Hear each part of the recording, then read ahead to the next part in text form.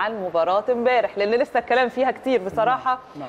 وكان في تصريح لكابتن سيد عبد الحفيظ ويمكن نعم. ده كان معانا في آه، من أخبارنا يعني ضمن أخبارنا في الإنترو. بيتحدث فين الحكام الدوليين؟ نعم. آه، إحنا عايزين نعرف فعلا فين الحكام الدوليين. هو أصلا فكرة إن مباريات الأهلي والزمالك في الدوري تتلعب بدون حكام دوليين دي فضيحة أصلا يعني دي مشكلة آه، كبيرة. أمر غريب جدا. هو أمر مش منطقي. أنا ممكن آه لو أنا عايز أكبر حكم عندي صغير واديله ثقة في مباراة أهلي أو زمالك لازم على طول أختار مباراة في الكاس. المباراة لما يعرفها النادي الأهلي أو الزمالك بيلعبوا آه، فرق في دور ال 64 وأدوار يعني لسه فيها بداية وبتلعب فرق من الدرجة الثانية وكده. آه ممكن. ليه؟ عشان الخطأ ما يبقاش آه، كبير. إنما إحنا بنتكلم إن مباراة النادي الأهلي ووادي دجلة كان في مشكلة كان في ضربة جزاء النادي الأهلي ما اتحسبتش.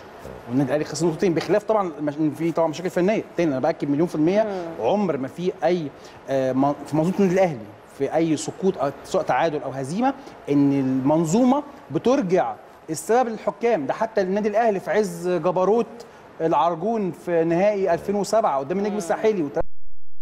وضربتين جزاء احمد شديد امام ومحمد أبو تريكة يعني فضايح. ما حدش طلع قال إن إن السبب التحكيم بس لا كان برضو كان في مشاكل فنية في الفريق. ولكن تاني إن مباراة النادي الأهلي على وجه التحديد وبنتكلم على بطل الدوري وبطل أفريقيا ونادي كبير والمفروض أصلا ماتشاتنا إحنا بنيجي في ماتشات كبيرة اللي هي مذاعة تلفزيونيا نعلي من قيمتها.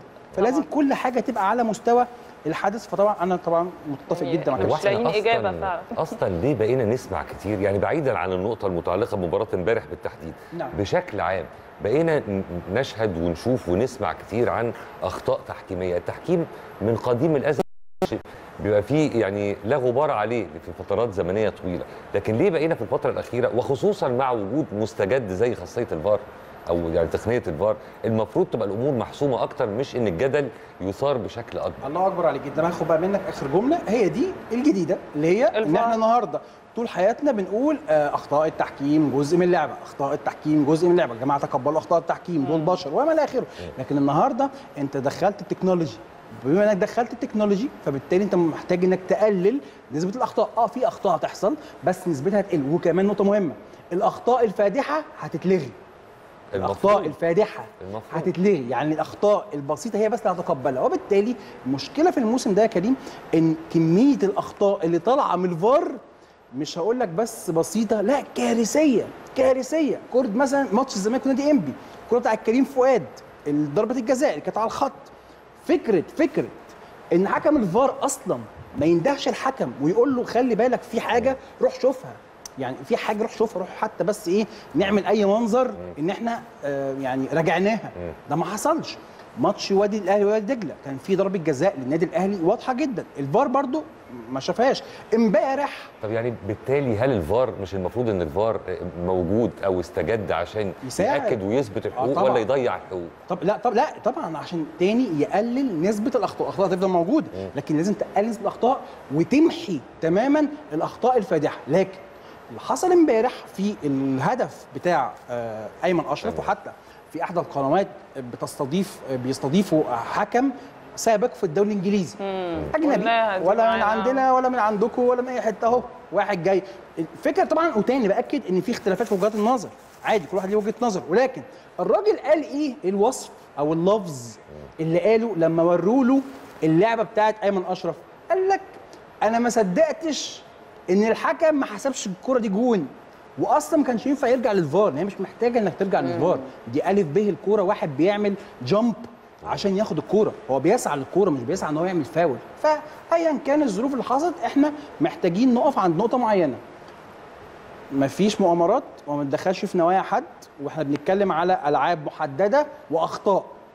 بس لازم لما يكون عندنا هذا الكم من الأخطاء في عدد الأسابيع القليلة دي لازم لجنة الحكام تقف بعيد بقى عن التصريحات وإن إحنا كابتن سيد جه قال حاجة فوقفوا ماتش أو غرموا 50000 جنيه. لأ okay خلاص أنت مش خدت فلوسك okay اتفضل اعمل شغلك وصلح الأخطاء. هو أنا هقعد كل شوية أقول أصل إحنا بنغلط عشان أنتوا تنتقدونا؟ طب اشتغل.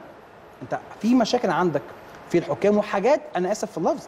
النهارده الشباب الصغير اللي بيحب الكورة قوي لو أنا جبتهم قعدتهم في اوضه الفار وقلت له إيه رايك في الكوره دي مش هيغلطوا في نفس الاخطاء اللي إحنا بنشوفها. طب هل يا كريم الاخطاء دي في الفار عندنا إحنا بس ولا برضو نسبتها كبيره في العالم في الدوري الانجليزي في غيره؟ خلينا نعرف على سبيل المثال السنة اللي يعني فاتت السنة اللي فاتت كانت أنا في وجهة نظري الفار كان عنده مشاكل كبيرة جدا جدا في إنجلترا وكان ناس كتير اشتكت حتى. ده, ده ال goal line system.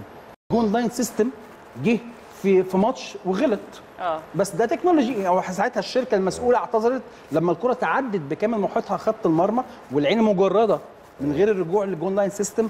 بتشوفها جون. فبس حصلت. فاللي أقصده في كل حتة في مشاكل. إنما برضه في نقطة مهمة. لو لازم النهارده نفرق ما بين أنا وجودي هنا كناقد رياضي وبين الكابتن سيد حفيظ كراجل مسؤول في نادي متضرر. أيوه. لما الاقي الضرر كل شوية جاي عليا أنا هبدا اعمل علامات استفهام. حقيقي. أو أنا كده متضرر. آه، كريم بيتكلم عشان هو راجل بيقول رأيه لكن أنا مش في الفرقة. آه. لكن المدير الفني أو اللعيب أو مدير الكورة أو المسؤول في الفرقة لما يلاقي ان الاربع نقط اللي هو خسرهم في الدوري بخلاف المشاكل الفنية تاني هو بعيد وزيد فيها بخلاف المشاكل الفنية كل مباراة فيها خطأ تحكيمي فادح. فادح مش خطأ تحكيمي بسيط لا خطأ تحكيمي فادح. بالظبط كده زي ما الكابتن حمد طولان طلع في ماتش إنبي؟ يعني حرام اللي حصل فيا. طبعا ما إحنا بنتكلم بصراحة برضه. فكل الأمور دي لازم لجنه الحكام تقف عندها. أنت النهارده مش الحكام دول بياخدوا مرتب ولا بيشتغلوا أيوة لله طبعاً. والوطن؟ بياخدوا مرتب. فأنت بتدي ناس فلوس من غير ما تصلح أخطائها من غير ما يدوا الحقوق للناس.